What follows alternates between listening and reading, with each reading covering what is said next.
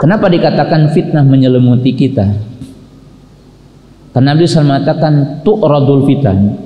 Fitnah akan dicampakkan kepada setiap hati Bani Adam.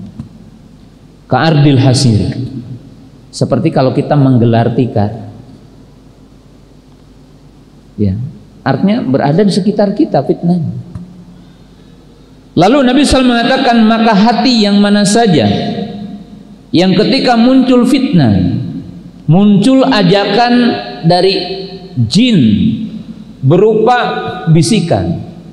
Dan ketika muncul ajakan berupa propaganda kesesatan dari ahlul ahwa ahlul batin lalu kita menghadap maka akan ditulis dalam hati kita titik hitam jadi setiap mukmin yang menghadap kepada fitnah melakukan maksiat maka akan ditulis dalam hatinya titik hitam.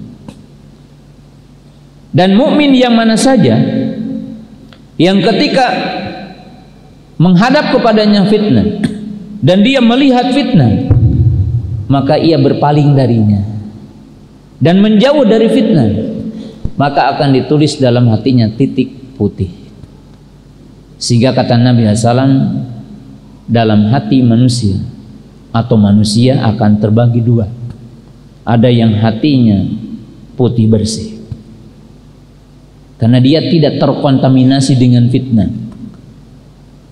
Karena dia tidak menghadap kepada fitnah karena mampu menjauhkan dirinya dari fitnah maka hatinya adalah bagaikan kertas yang bersih.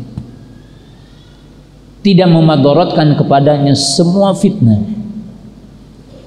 dan dia istiqomah dan mengendalikan dirinya. Maka mukmin yang mana saja yang dia menghadap kepada fitnah dan terbawa dengan fitnah maka akan ditulis dalam hatinya titik hitam.